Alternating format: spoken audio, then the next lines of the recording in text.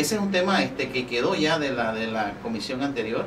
y nosotros ya la tenemos en agenda para su primer debate, donde vamos a invitar a toda la ciudadanía, los, los actores involucrados, como son los,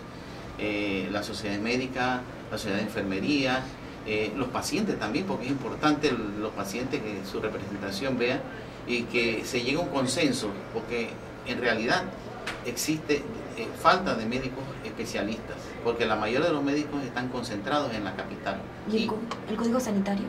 Este, el código sanitario, estuve hablando con el ministro Javier y nos dijo que eso ya eh, ellos están haciendo consenso, visitando y, todavía no, no, no, se ha tocado ni ha llegado siquiera a lo que es a la Comisión de Salud.